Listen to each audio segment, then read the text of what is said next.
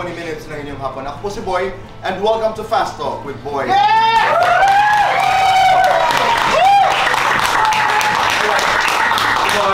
maraming salamat. Happy, maraming salamat. And we have to look back from our past for us to to go forward. Uh, Pulang Araw tells us, uh, shows us a glimpse of our history of what happened uh, pre-war and during war. It's not just about the vaudeville, pero yung ano yung dinaanan ng mga Pilipino sa kamay ng mga Amerikano at ng mga Hapon. Um, yun yung yun yung kwento ng Pulang Araw. It's high time for us to be proud to be Filipinos. Kasi hindi madali yung pinagdaanan ng mga ninuno natin. Um, and we have to pay tribute to them. Not just to them personally, even the mga unsung heroes. Kasi yun yung mga hindi natin na nalalaman yung kwento. Pero malaki yung ambag nila sa kalayaan natin ngayon. Kaya itong pulang araw, talagang tribute siya na maging, hey, Pilipino ako. Nakakatakot kasi alam, alam ko alam mo agad na ikukumpara ako sa tatay ko eh, di ba? So ngayon para sinasabi sa inyo, huwag niyo akong kumpara. Napakagaling nun, di ba?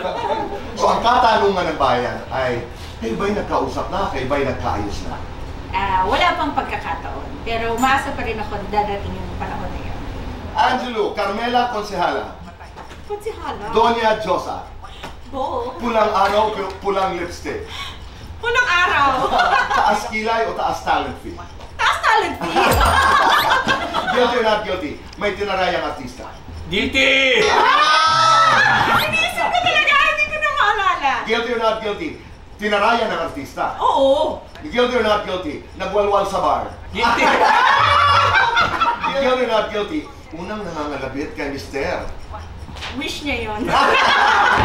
Lights on, lights off. You. depende. Wow, depende. Happiness or chocolate? Both. Best time for happiness. Anytime. Complete this. Laban lang sa buhay dahil Laban lang sa buhay dahil laging may nagmamahal sa ang ganda. Pogi, sexy. Ako? Sexy? Ah, Maginoo, medyo bastos. Ah, medyo bastos. Maraming awards, malaking TF. Malaki TF. Lights on or lights off? Ayoko sa artista. Lights on, and ayoko mga positive. Happiness or chocolates? Chocolates. Weh. Best, oh, Weh. best time for Ang dami na chocolates. Ano yan? Best time for chocolates. Pag may Ah, happiness. every time. Basta Quezon. Sweet lover.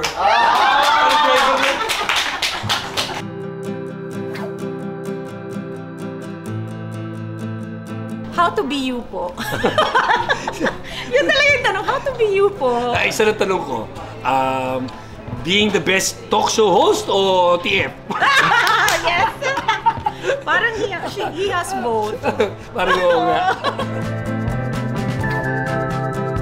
It's always fun to be a part of any Boy Abunda show. Yes. And that's always, hindi lang to one way, lagi siyang two way. May natututunan siya sa amin, hopefully, and kami rin may natututunan sa kanya. Thank you lang, Rosa. Ay, salamat!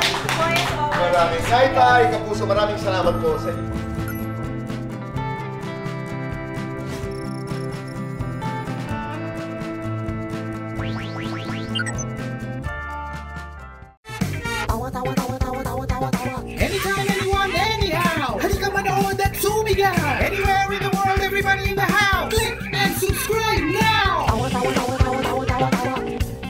You